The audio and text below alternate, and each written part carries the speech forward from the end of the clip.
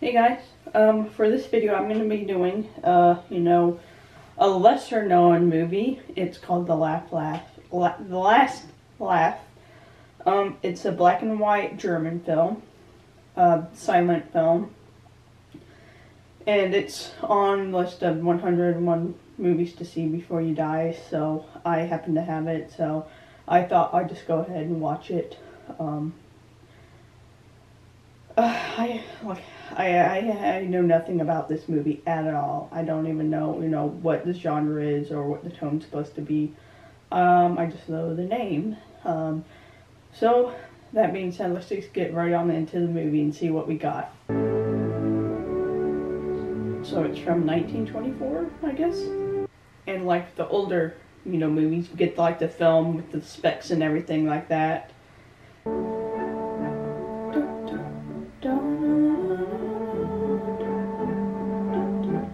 I obviously know this song, um, or I've heard of it. I can't remember what was what the song name was, but it seemed to be like an upbeat, uh, upbeat song. So I'm wondering if that's going to be like more of a comedy.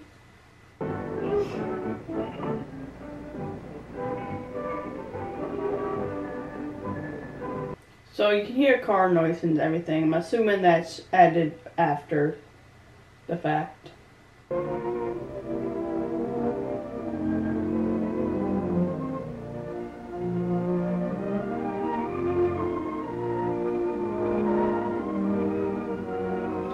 So that's, you know, what the kind of juxtaposition, you know, we get this, you know, he works at like this hotel that has like a lot of rich people and he helps them just get into cars and stuff. And then he actually lives in a more rundown area.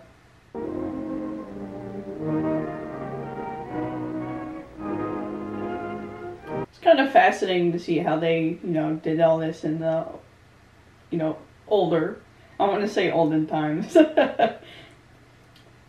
you know, they would light the lamps and then they would go around putting them out with the, you know, the poles interesting.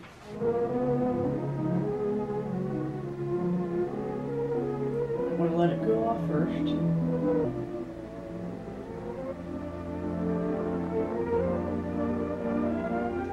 So it's in English. Is that one another instance of them like putting it in English or like, you know, making a a film, um, you know, interspersing like the German version for the English version?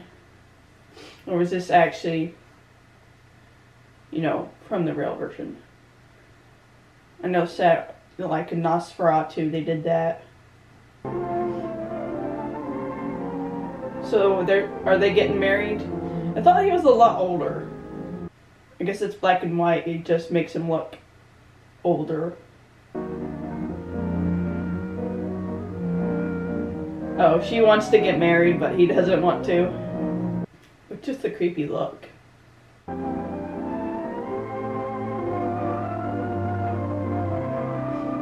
So you notice they treat him differently. Is it because he, you know, is a doorman at the the, you know, rich hotel?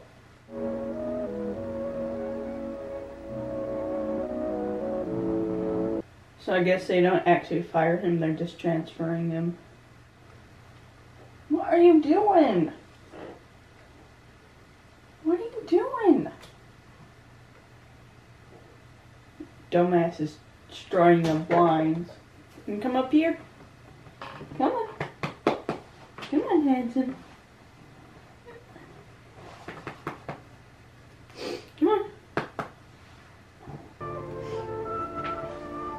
handsome. so he's gonna be far now. Buddy, you handsome little boy, yes you would.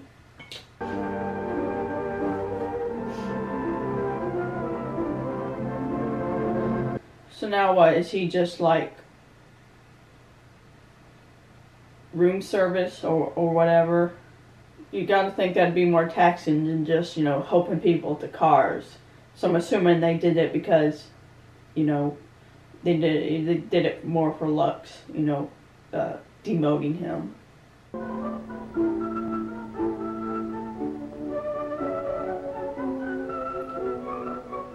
So he wasn't actually the groom, you know.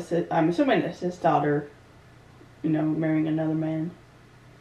The reason why they did that whole scene was it because he couldn't make it to her wedding because he was working.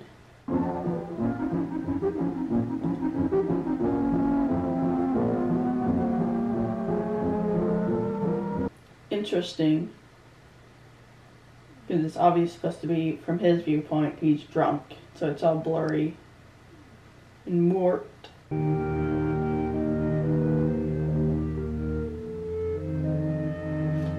Oh, so what? He's the one who's there for them when they wash their hands.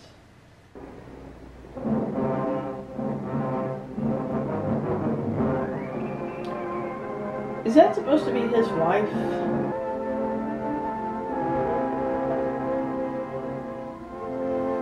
Really can't pick up your own towel?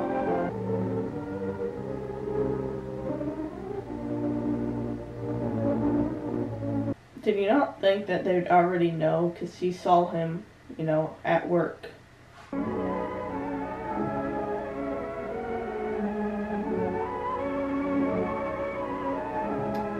Why is everyone being such a dick to him? Seriously. They're all treating him so good and everything. What? Because they thought he was in a prestigious position, but now what? He's still working, but was, I guess, demoted, so now they're treating him like shit. It, it would make sense if he always thought himself to be better than everyone else, but he's showing nothing but kindness to everyone. Feels like they're just dicks.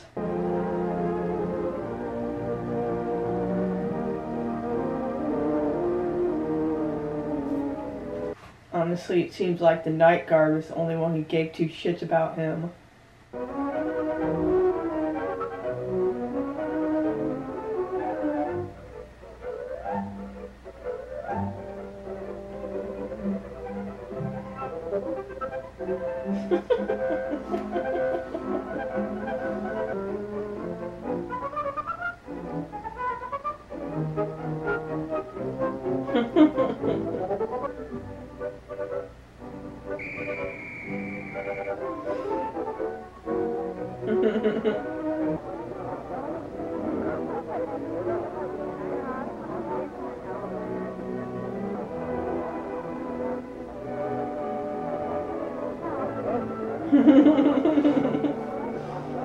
And that was the end.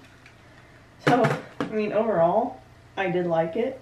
Um, most of the people are dicks, or at least the people he grew up with or, or lived with. I'm not sure. Did they disown him?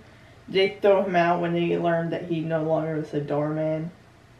Is that why he ultimately ended up going to going back to the hotel and I'm assuming it was a hotel and uh, eventually went back into the bathroom. So the ending, the guy's like um, like a, a multimillionaire died, and I'm assuming he died in that guy's arms, um, which I don't recall remembering. So I'm assuming it happened after. And uh, I, I do kind of like that the guy, we don't even know his name, I don't think, just a doorman. He, despite being rich, he never let it get to his head. He was, uh, you know, he was uh, generous with whoever was kind to him, and just anybody who was kind of run down and needed help. He was extremely kind to him, and uh, you know he was that way before, and, and it's nice that being rich didn't affect that. It just allowed him to help those, you know, people more. So, um, but yeah, um, so that's kind of my thoughts on this movie. Uh, let's see. I don't. I'm not sure if there's any trivia. there is not much at all, but I'll just uh, give a. I'll, I'll say what uh, there is. So the film only used title cards to explain the job pl- replacement, and in the end of the epilogue, none of them are ever used for dialogue. That's so I noticed that right away. Um, whenever they were talking, they didn't use title cards to try to explain what was happening. They really just relied on visuals. Um, the first dolly device that used a camera to move during a shot was created for this film. According to Edgar G. Ulmer, who worked on the film, the idea to make the first dolly come from the desire to focus on Emil Jannings' face during the first shot of the movie as he moved to the hotel. They obviously didn't know how to make a dolly technically, so they created the first one out of a baby's carriage. Then they pulled the carriage on a sort of railway that was built on the studio. The film is included on Roger Ebert's Great Movies list. Assuming its copyright has not lapsed already, this film and all other produced in 24 into the U.S. public domain in 2020. Well, that's good for me. um, included among, yeah, I already did that. Um, actor, director, Lupa Pike, Lupu, Pick, who had worked with writer Carl Mayers before, was originally supposed to play the doorman, but got into a disagreement over the way the character was portrayed, and so was replaced by Emil Jannings. The film has a 100% rating based on 28 critic reviews on Rotten Tomatoes. Let's go see if that's still a fact. Rotten Tomatoes got into the habit of uh, going and just finding random ass reviews from like outside sources so they don't even put it in there themselves the ratings. Just so they can knock you know 100% rating movies down. You know no longer 100% so it's so fucking such kind of a dick move to be honest. Well it still has a 100% ratings uh, for uh, you know rotten tomatoes of course it's only 28 reviews but uh, see if that lasts. But yeah, so that was my viewing of uh, The Last Laugh. I, I did enjoy it. It kind of a little different because, well, one, there wasn't any dialogue except for like the bit at the end, um, transitioning from where he was to where he ended up. Um, and then like title card explain, you know, his job, him losing his job and all that. So, um, but yeah, if you've uh, seen this movie, have any thoughts on it, just let me down below. Let me know down below. Um, uh, yeah. So uh, if you like this video, give it a like, subscribe to get notifications for all the different videos I'll be doing, and um, yeah. Um, just guys stay safe out there, and um, I'll talk to you later. Bye.